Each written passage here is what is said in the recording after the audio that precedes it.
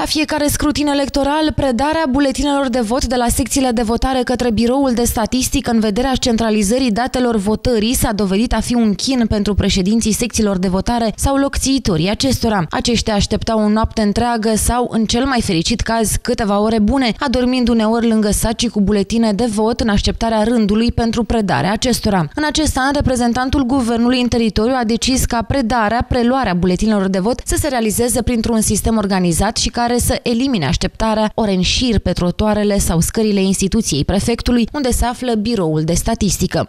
Am organizat la nivelul prefecturii împreună cu cei de la Casa de Cultură un sistem de Uh,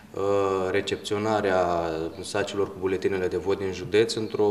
formă cât se poate de eficientă, în sensul că președinții care vin din județ uh, vor primi un număr de ordine de la um, jandar sau de la reprezentanții prefecturii în uh, holul Casei de Cultură și vor fi aduși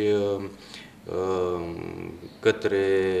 biroul de statistică și către biroul electoral județean într-un circuit fluent fiecare președinte de secție de votare sau locțiitorul acestuia va preda buletinele de vot la ora înscrisă pe biletul de ordine. Pentru a nu mai ajunge în situația din alți ani când oamenii stăteau pe lângă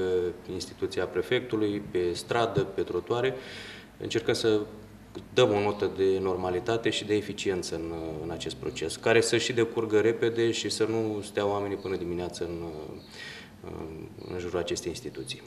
Buletinele de vot se predau după numărarea acestora în cadrul secțiilor de votare și validarea procesului verbal aferent de către toți membrii secției de votare.